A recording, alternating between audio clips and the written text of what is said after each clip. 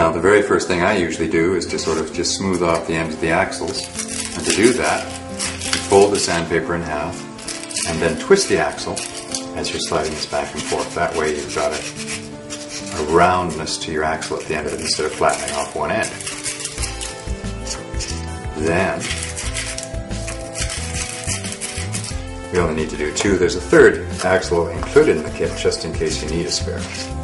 Okay, here we go. This is the body we're using here. Now you don't need to use this as the body. Anything can be used as the body of these solar car kits. However, it's easy to build onto something, so today we will build onto the supplied coroplast. The first thing to do is to mark the holes where you want the axle holders to go through. The axle holders are these things, the screw eyes. They'll be going through the body and into these blocks of wood just to stabilize them. So to mark those holes, you want to be fairly careful that they are going to result in axles that run parallel. You could, if you like, take some time and mark at 90 degrees, but you'll find that the holes, all, or rather the lines that are already shown in the coroplast, should give you enough of an indication of what's parallel. Having started those holes there, you can then put the screw on easily through there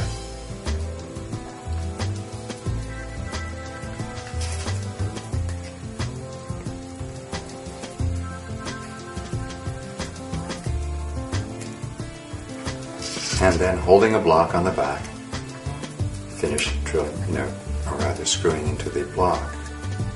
So you may have a little trouble with this, but basically you're holding the wood block on the back of it and going in with the screw eyes. If there's a problem, if the screw eye doesn't sink in right away or you're having a bit of difficulty getting it in, you can back up a bit and use the drawing pin, which is we're using as a small awl, to make a hole in the wood. But right now this set's going quite nicely, so no need.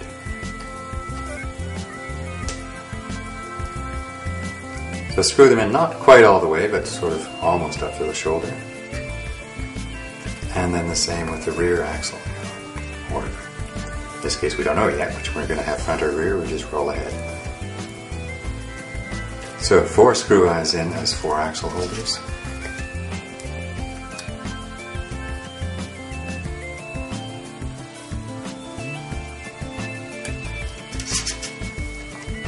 Again, bring the wood block up. And this is just a stabilizer. You probably actually get away without using the wood block, but you'd end up with points that would maybe grab at you later.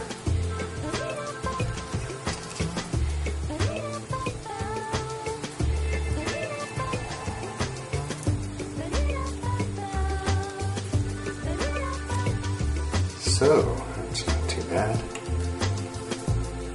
Okay,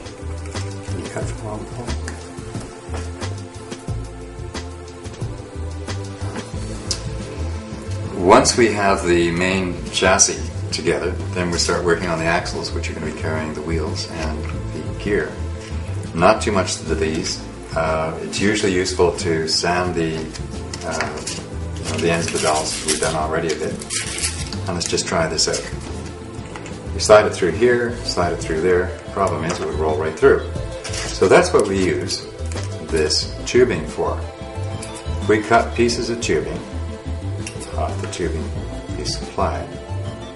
They don't have to be very wide.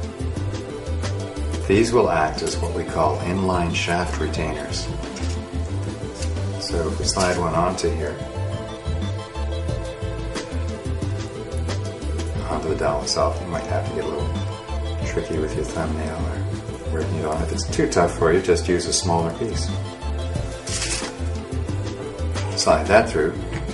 Now the axle stays in place and still rotates. Put one on the other side.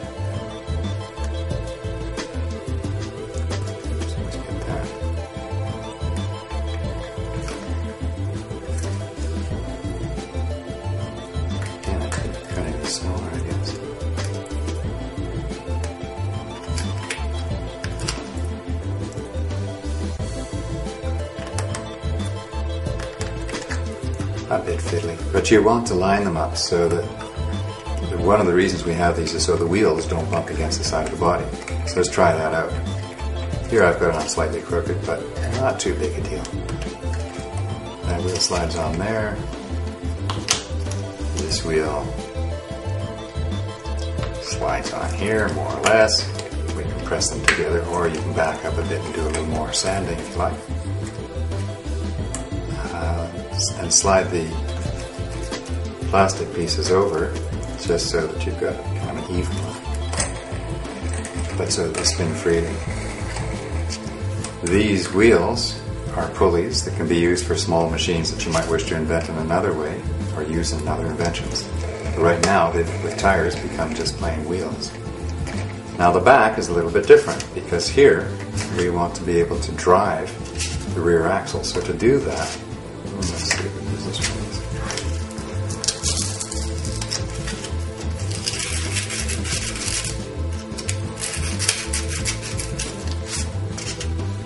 slide the 50 tooth gear on. And if it's a bit tight, you're either stuck with a bit more sanding. Twisting sort of helps though. If you can get it on like that, great.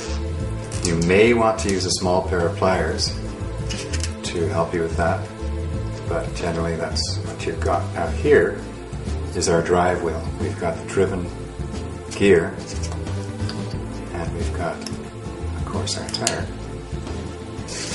But how do we want to have that go on? Well, the same thing again. We're going to use a bit of this tubing.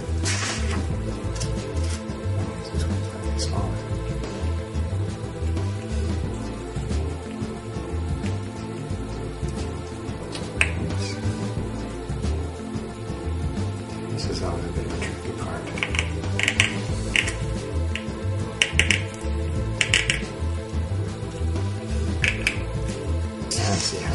How that. No, going too far. Bring it back out a bit. Let's see here.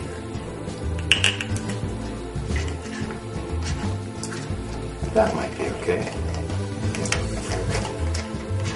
Try the piece of tubing on the other side. We've got we're going to cut a smaller piece just to use the same piece to cut off a bit.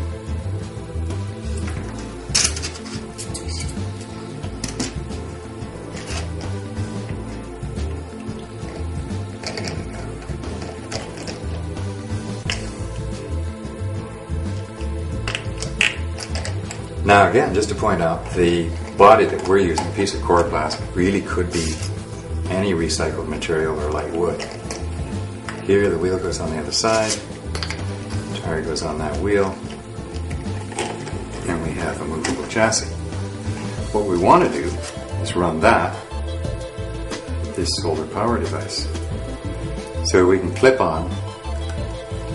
Normally, actually, what I do before going too far with this is I would clip on the solar panel to the back of the motor and then test the motor or test the solar panel in a strong light and see that the motor turned. Here, and this is kind of a serendipity, using the motor clip, it's a sticky back, peel off the back of it, put it right up against the piece of wood and clip the motor into that clip. And you'll see, lo and behold, those gears mesh pretty well.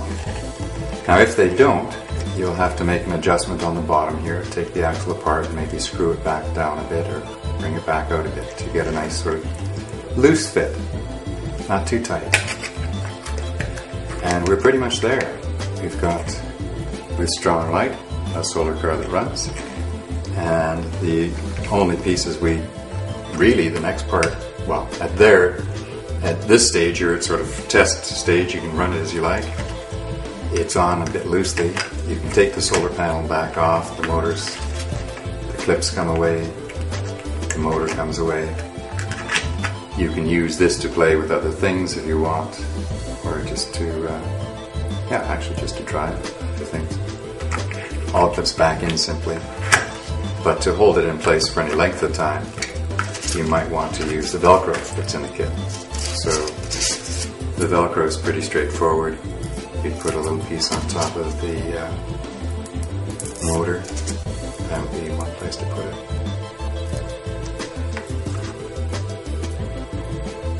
Of like that.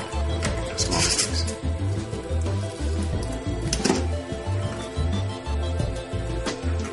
and then match the back of the solar panel. Probably do the bottom piece before we do the motor. And this is this is what I normally do. You've got all kinds of configurations that you might wish to use, but this will work.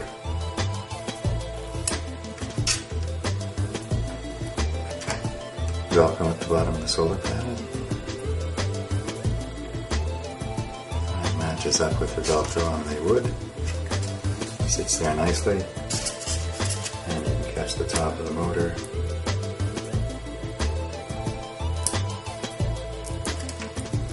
Another piece of Velcro if you like. And close down in the sun. One solar car kit. Now you have a few pieces left over.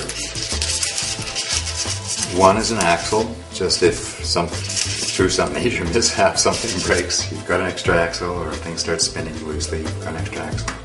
And here the tweezel. Now you may wonder, what's a tweezel? Well, a tweezel is an educational artifact designed to teach you about spin. Everybody knows that the galaxy spins, the solar system spins, the planets are spinning, and the electrons that make up the reality all around you, every single one of those electrons is spinning. So we know from the largest to the smallest, spin is how the universe works. Need to have a solid surface, it's unfortunate. Let's just pull this. Now, really, I haven't rounded off the end of this tweezel very much. You'd want to spend a fair bit of time working away the end so that in the end it sort of looks like a dome on each side. You're going to dome off the, the end of the tweezel. But once you've done that, you'll have an educational artifact that will teach you or allow you to study spin.